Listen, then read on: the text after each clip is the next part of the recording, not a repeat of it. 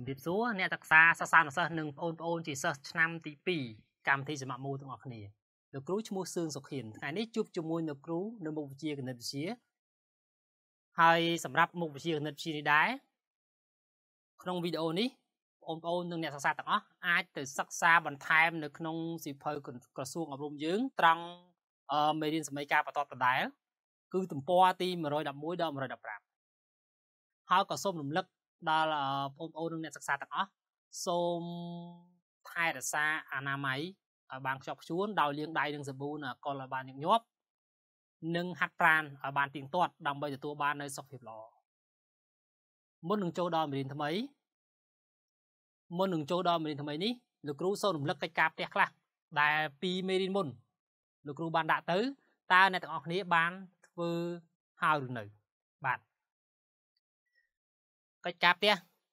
ពីមុននោះដាក់ថាឲ្យរកសម័យការបន្ទាត់កាត់តាមចំណុច A1 ដែលនេះឲ្យជាចំនួនទូសភាគលេខឲ្យជាប្រភេទហើយទូសភាគគឺ2.5ហើយនឹងដក1 B B គឺ0ហើយនឹងប0វា5ហើយនឹង1អញ្ចឹង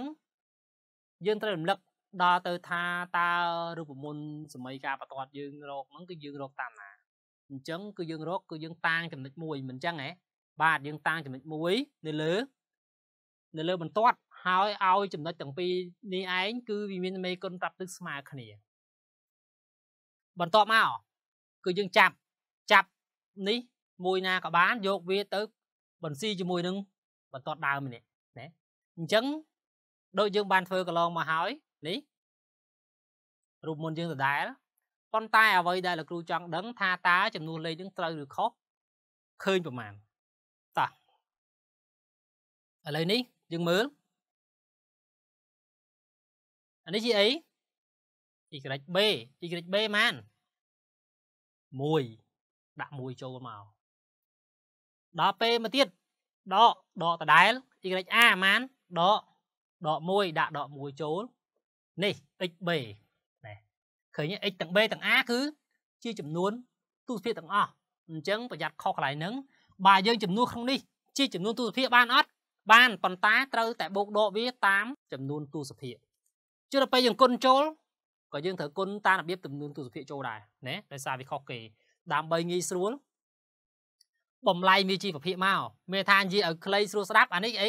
2.5 2កន្លះ2កន្លះស្មើស្មើនឹង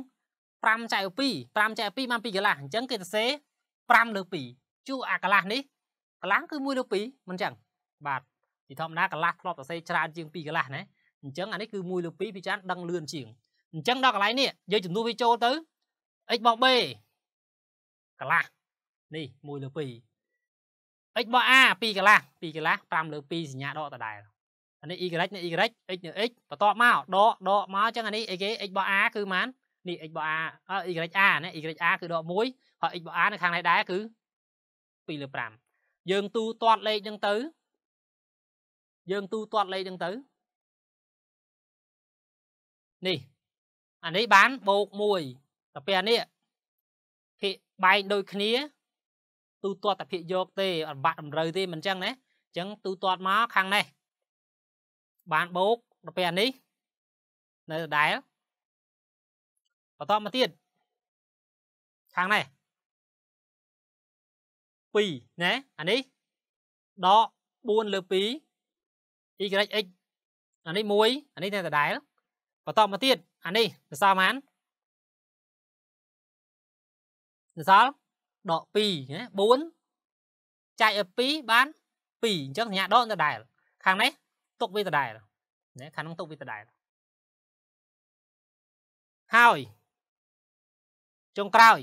ចាប់ទាញចេញចេញទៅណា y បូក1អានេះ x ដក5លើ2អញ្ចឹងត្រូវយកអីមកគុណអានេះចែកទៅប៉ុន្មានបានដក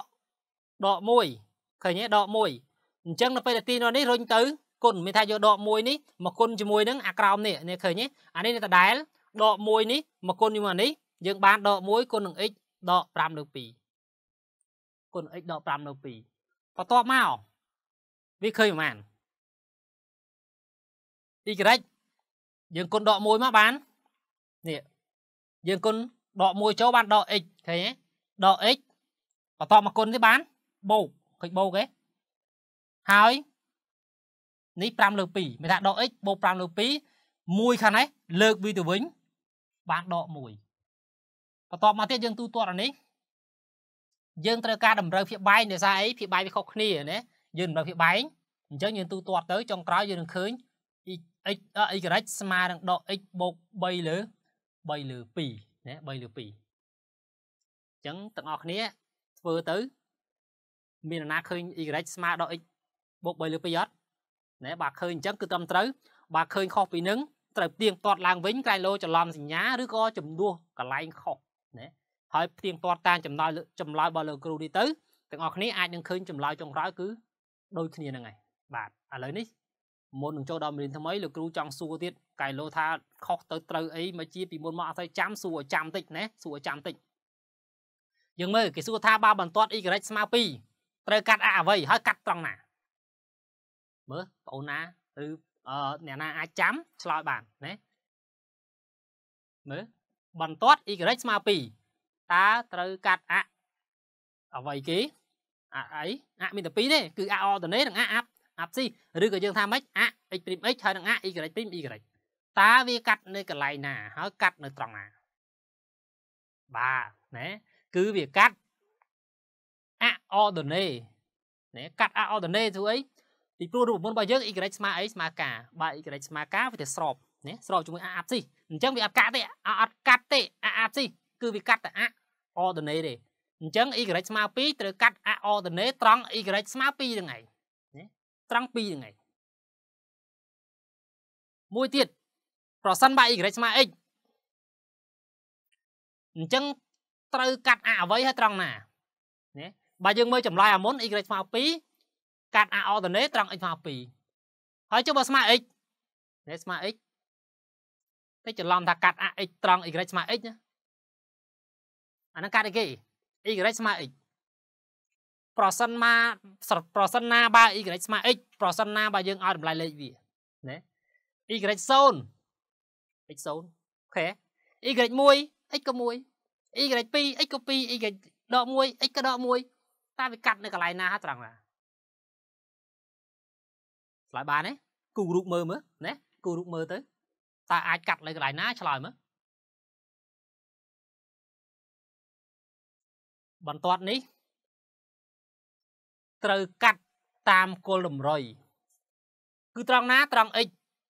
ណែត្រង់ណាកាត់ត្រង់ណាត្រង់ណាកន្លែងហ្នឹងគឺត្រង់ណាហ្នឹងគឺត្រង់ណាត្រង់ x ស្មើ0ហើយនឹង y ក៏ស្មើ0ដែរ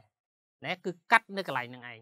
បើថាគល់តម្រុយអាកន្លែងវាកែងគ្នា4នេះគឺកាត់ចំកន្លែងហ្នឹងណែក៏អាងអាកន្លែងគល់តម្រុយកន្លែងកែងគ្នាហ្នឹងគឺកាត់តាមហ្នឹងនេះនៅពេលដែល y ស្មើ x នៅក្នុងប្លង់ coordinate តើបន្ទាត់ពីដែលមិនមានចំណុចកាត់គ្នាបានគេហៅថាបន្ទាត់អីបន្ទាត់2ប្រសិនបើវាគ្មានកន្លែងកាត់គ្នាឬកន្លែងប្រសពគ្នាឬកន្លែងជួបគ្នាទេគេហៅថាបន្ទាត់អីបាទគឺបន្ទាត់ស្របណាត្រឹមត្រូវគឺនៅក្នុងផ្លុយនៅក្នុងប្លង់កអឌីណេបន្ទាត់2ដែលមិនមានកន្លែងកាត់គ្នាសោះគេហៅថាបន្ទាត់ស្របហើយណាបន្ទាត់ស្របហើយ នៅក្នុងមេរៀនបន្ទាប់នេះគឺក្នុងវីដេអូនេះនៅពេលដែលអ្នកទាំងអស់គ្នាសិក្សាចប់ក្នុងវីដេអូនេះអ្នកទាំងអស់គ្នាអាចនឹងរកសម័យការបន្ទាត់នឹងតាមចំណុចដែលបន្ទាត់ស្របណាសម័យការបន្ទាត់ស្របឬក៏សម័យការបន្ទាត់កែងទៅនឹងបន្ទាត់មកទៀតបានត្រឹមត្រូវអាចដោះស្រាយលំហាត់ណាលំហាត់សម័យការបន្ទាត់ស្របនឹងបន្ទាត់កែងហើយអាចប្រើប្រាស់អាចំណេះដឹងពីសម័យការបន្ទាត់ស្របនឹងកែងនេះនៅក្នុងជីវភាពរស់នៅបាន យើងចូលទៅដល់ខ្លឹមសាររបស់យើង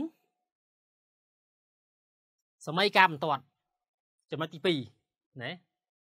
គឺលក្ខខណ្ឌបន្ទាត់ស្របតើបន្ទាត់ពីរស្របនេះមានលក្ខខណ្ឌម៉េចមានលក្ខខណ្ឌម៉េចឥឡូវនេះយើងមើលជាទូទៅ ប្រសិនបើដេអងនេះដេអងនេះ គឺជាបន្ទាត់ទី1ណាបន្ទាត់ទី1តាំងដេអងហើយដែលមាន សម័យការបន្ទាត់តាំងរបស់វានឹងគឺ y ស្មើ ax បូក b និងបន្ទាត់ D មួយដែលមានសម័យការបន្ទាត់ y ស្មើ a'(x) បូក b' អញ្ចឹងគេថាបន្ទាត់ដេអងនិងដេដឺនេះស្របគ្នាបានលុះណាតែ a ស្មើ a' ស្អីគេ a និង a' គឺជាអីគឺជាមេគុណប្រាប់ទិសបើយើងនិយាយជាសម្រាយ បន្ទាត់ពីអាចស្របគ្នាបានលុះណាតែមេគុណប្រាប់ទិសស្មើគ្នានេះស្មើគ្នា គឺ a ស្មើ a'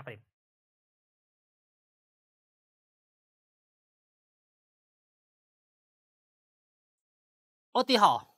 នេះឧទាហរណ៍បើបន្ទាត់ D1 មានអឺសម័យការបន្ទាត់ y ស្មើ3លើ 2x ដក3និងចំណុចនឹងដៅចំណុចនេះចំណុចដៅមួយហ្នឹងទៅគឺ a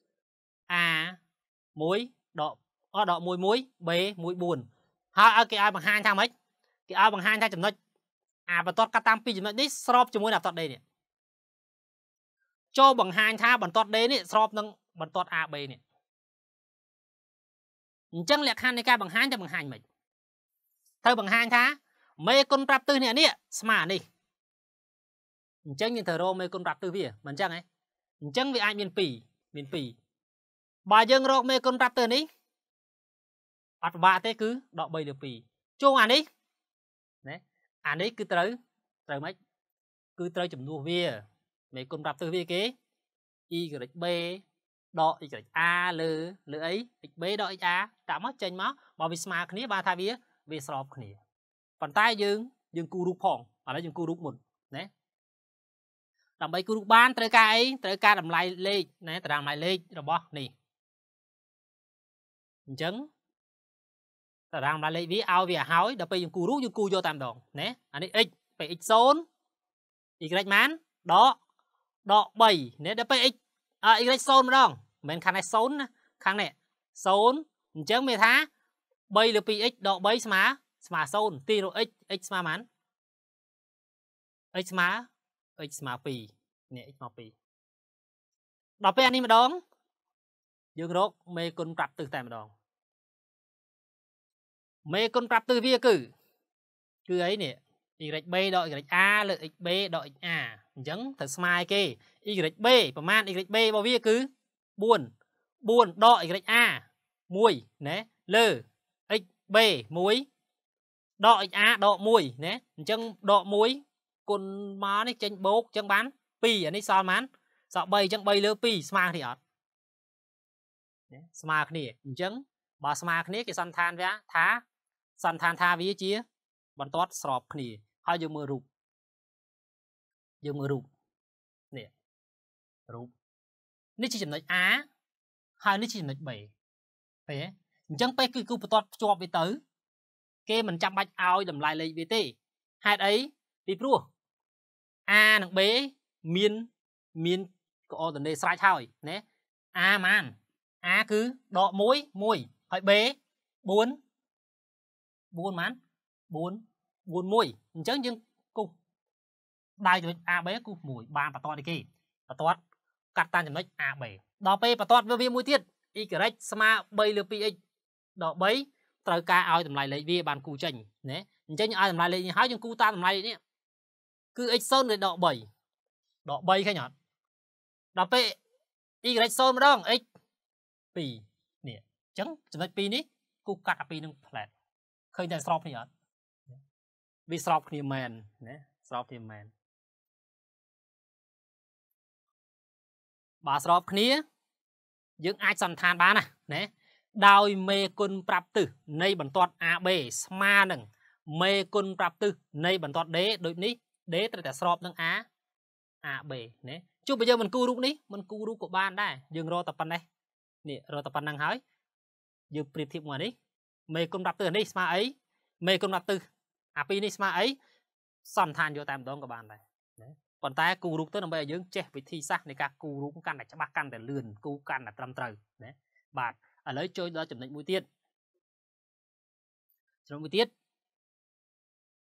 លំហាត់នេះឲ្យរកសម័យការបន្ទាត់ដែលកាត់តាមចំណុច A1 2 5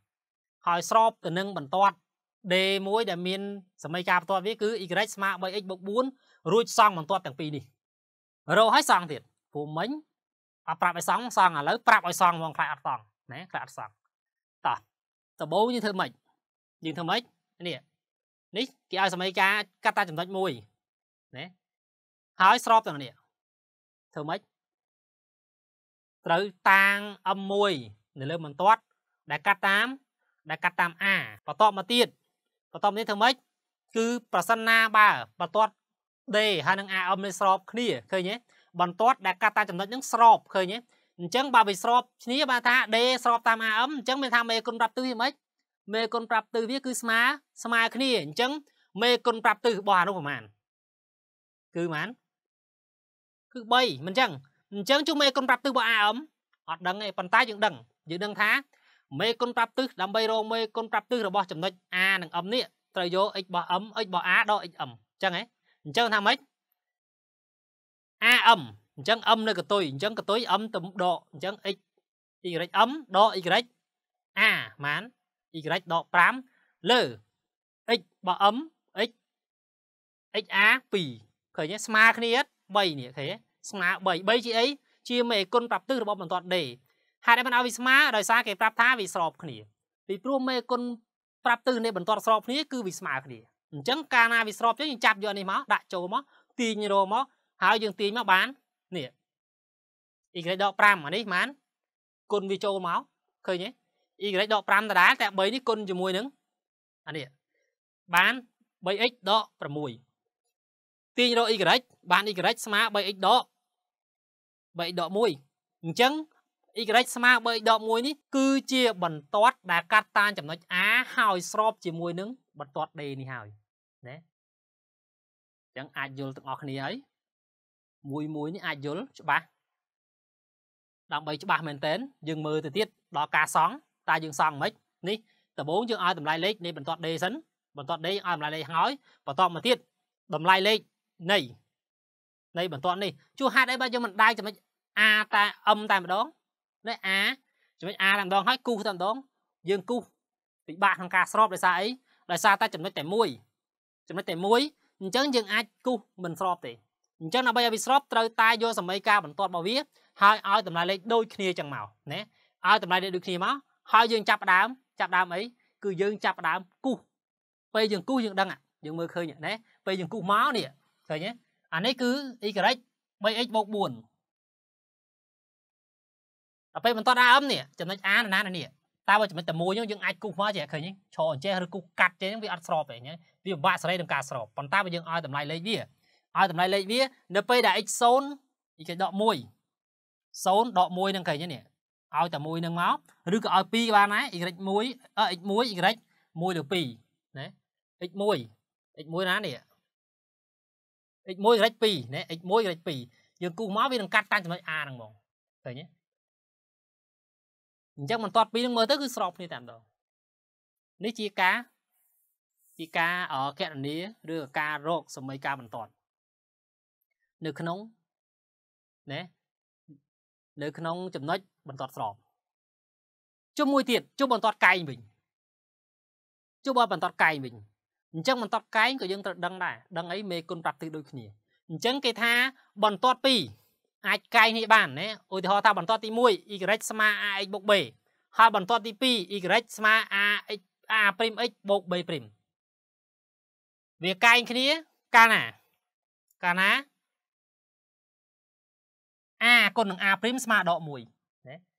a គុណនឹង a' ស្មើដក1ស្អីគេទៅ a គុណ a' a ជាអីគឺជាមេគុណប្រាប់ទិសនេះ a មេគុណប្រាប់ទិសរបស់ខាងនេះ a' ខាងនេះ បើវាគុណបញ្ចូលគ្នាស្មើដក1បានន័យថាវាជាបន្ទាត់បន្ទាត់កែងគ្នាណាចុះបើវាស្មើគ្នា a គុណ a ព្រី a a a ព្រីមស្មើគ្នាវាជាបន្ទាត់បន្ទាត់ស្របណាពេលវាគុណនេះស្មើដក1ជាបន្ទាត់កែងបើវាស្មើគ្នាជាបន្ទាត់ស្របឥឡូវយើងមើលលំហាត់ណាសាររបស់មើលលំហាត់ចូលរកតម្លៃ a ដើម្បីឲ្យបន្ទាត់ y ស្មើ ax បូក3នេះអញ្ចឹង a ប្រហែល កែងជាមួយនឹងបន្ទាត់ y ដក 2x ស្មើ1ឲ្យវាកែងគ្នាអញ្ចឹងយើងត្រូវអីយើងត្រូវមើលត្រូវមើលថាតើមេគុណប្រាប់ទិសរបស់ខាងនេះស្មើប្រមាណណាបើរមេគុណប្រាប់ទិសនេះឃើញ បានយើងអាចដឹងថាអាអានេះស្មើប្រមាណដែរព្រោះអីព្រោះវាគុណគ្នាស្មើដកដក1ណាតោះលើយើងរកតាមណាចាំមើលនេះបន្ទាត់ y ស្មើពី y ដក 2x ស្មើ1ឬក៏យើងអាចសរសេរបានថាម៉េច លើកមកបាន y ស្មើ 2x បូកបូក1ឃើញទេនេះតម្រង y ស្មើ i បូក b បានយើងចាប់យើងចាប់មេគុណប្រាប់ទិសបានកែងនឹងបន្ទាត់ y ស្មើ ax បូក3លុះណាតែមេគុណប្រាប់ទិសនៃបន្ទាត់ទាំងពីរហ្នឹងស្មើគុណគ្នាស្មើដក1ណាផលគុណនៃមេគុណប្រាប់ទិសនៃបន្ទាត់ទាំងពីរហ្នឹងស្មើដក1អញ្ចឹងមានន័យថាម៉េចអាគុណនឹងអីគេគុណនឹង2នេះស្មើដក1 អញ្ចឹងតើ a ស្មើប្រមាណនេះមានថាយកអានេះ2នេះគុណជាមួយនឹង a នេះស្មើដក1អញ្ចឹងមានថា a ស្មើដកដក1លើលើ2ណាងាយស្រួលរអញ្ចឹងសោះណាបើមើលតែលំហាត់នេះវាពិបាករដែរប៉ុន្តែបើររបន្តិចអញ្ចឹងមិនពិបាកទេឥឡូវយើងមើលលំហាត់គំរូទី2ម្ដងបាគេឲ្យ3ចំណុច A 03 B 20 ហើយនឹងចំណុច C1 គឺ4 17លើ3ហើយស្រាយបញ្ជាក់ថាបន្ទាត់ AB AB នេះកែងជាមួយនឹង AC ណា AB កែងមក AC កែងមិនអញ្ចឹងយើងត្រូវរកអីយើងត្រូវរកមេគុណរាប់ទិស AB ហើយនឹងមេគុណរាប់ទិស A AC ណាឥឡូវយើងមើលមេគុណរាប់ទិស AB ស្មើអីស្មើ y បូក b ដក y បូក a y b ហ្មង0ដកអី 7 ឃើញទេ0ដក3បានដកដក3ចុះ xb xb 2 2ដក0បាន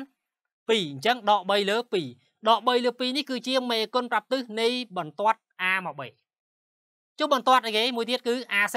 អញ្ចឹង ac ស្មើអី ac ស្មើ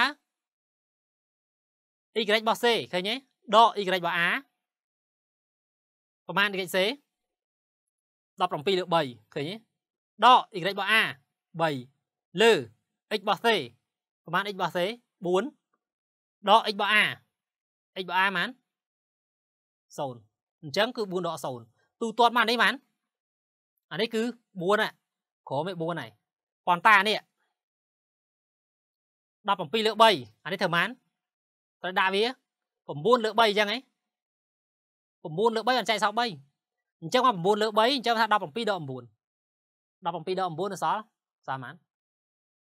នៅសល់5 8ណែ8លើ3ហើយយើងចាប់ដើមអានេះភាគបាយវា1ហើយយើងចាប់ដើមចែកចម្រាស់ប្រភេទទៅ គឺយើងនឹងបាន2លើ2លើ3នេះអញ្ចឹងយើងមើលមេគុណប្រាប់ទិសវាយើងមើលមេគុណប្រាប់ទិសវាអានេះគុណអានេះស្មើដក1អត់ណែយើងឲ្យវាចឹងយកមកដក3លើ2គុណនឹងគុណនឹង2លើ3ពេលយើងគុណមកស្មើដក1អត់ យើងគុណមកភាគយកគុណភាគយកភាគបែងគុណភាគបែងមិនចឹងអញ្ចឹងភាគយកគុណមក2 3 2ដង6អានេះ2 2ដង6អញ្ចឹង6ចែកមើលបាន1សញ្ញាដកដកដដែលអញ្ចឹងយើងបានដកដក1អញ្ចឹងប្រសិនណាបើមេគុណប្រាប់ទិសវាគុណនេះស្មើដក1ដូចនេះយើងអាចសន្និដ្ឋានបានថាបន្ទាត់ AB កែងទៅនឹងបន្ទាត់ A AC ហើយណាបាទអញ្ចឹងអឺយើងមើលរូបដល់វគ្គមើលរូបម្ដង គូរូបឥឡូវយើងបានរកឃើញអញ្ចឹងបើសិនមកយើងគូមកកែងមានអត់ទេគូរូបទៅអត់កែងទៅណាគូរូបអត់កែងអញ្ចឹងយើងរកទៅខុសណាបាទនេះយើងគូទៅនេះចំណុច A 03អញ្ចឹងហ៎ចំណុចអីមួយទៀត B 2 20ចំណុច C 4 5ក្បៀ67ហ្នឹងបានថាម៉េច17លើ3យើងចែកមកគឺបាន5ក្បៀ67អញ្ចឹងយើងគូ AC គូ AC មួយឃើញតោះនេះគូ B A AB មួយទៀតយើងមើលវាកែងនេះអត់បន្ទាប់ពីនេះគឺកែងកែងគ្នាយើងមិនចាំបាច់ឲ្យតម្លៃលេខទេដោយសារអីដោយសារវាមាន coordinate ស្រេចតែម្ដងដែលអាចភ្ជាប់គូបានណាតើឥឡូវបន្ទាប់ពីមើលមេរៀនមកមកមកទៅទុះមិញនេះហើយយើងសាកល្បងមើលតើយើងអាចធ្វើលំហាត់ចេញអត់ណាមិញសិតតែមេរៀនសិតតែឧទាហរណ៍គំរូអញ្ចឹងឥឡូវសាកធ្វើខ្លួនឯងសាកមើល តោះឥឡូវបន្ទាប់ពីរៀនក្រុមសារហើយណាមើលឧទាហរណ៍គំរូអីហើយយើងមើលលោកគ្រូមានលំហាត់មួយយើងមើលចូលរកសម័យការបន្ទាត់កាត់តាមចំណុច A អននេះវាគឺដក1លើ2ហើយនឹង0ហើយកែងជាមួយនឹងបន្ទាត់ y ស្មើ 2x ណាកែងជាមួយនឹងបន្ទាត់ y ស្មើ 2x ឥឡូវនេះទាំងអស់គ្នាចាប់ដើមគិតមើលតើរកតាមវិធីណាឲ្យឃើញប្រមាណណា ឃើញសម័យកាលប្រមាណសម័យកាលនេះជាឲ្យរកសម័យកាលមិនទាត់ណាអ្វីដែលយើងត្រូវគិតយើងត្រូវគិតថាដើម្បីរកសម័យកាលបន្ទាត់ហ្នឹងត្រូវកាយខ្លះគេប្រាប់អីខ្លះយើងគួររកតាមណាយើងគួររកតាមណា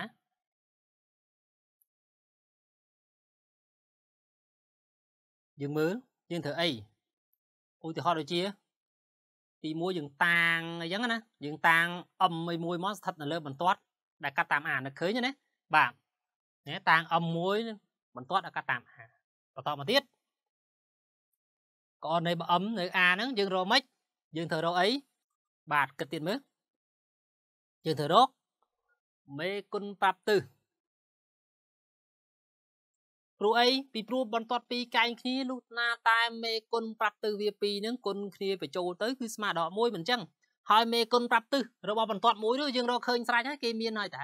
នៅសល់តែមួយទៀតដែលកាត់តាមចំណុច A នេះយើងត្រូវរកណាអញ្ចឹងយើងរកមិនណាងាយស្រួលណា